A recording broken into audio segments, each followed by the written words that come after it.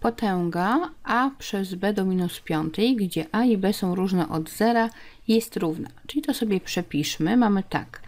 a podzielić przez b do potęgi minus piątej. Czyli najpierw my pozbędziemy się tego minusa z wykładnika, a żeby pozbyć się minusa, to musimy odwrócić ten ułamek, czyli licznik zamienić z mianownikiem.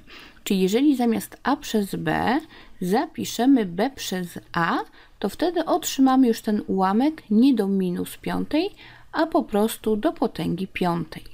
No i teraz patrzymy, czy taką odpowiedź mamy. No widzimy, że tak. O, tu już nam się pojawiła odpowiedź B, czyli to będzie odpowiedź poprawna.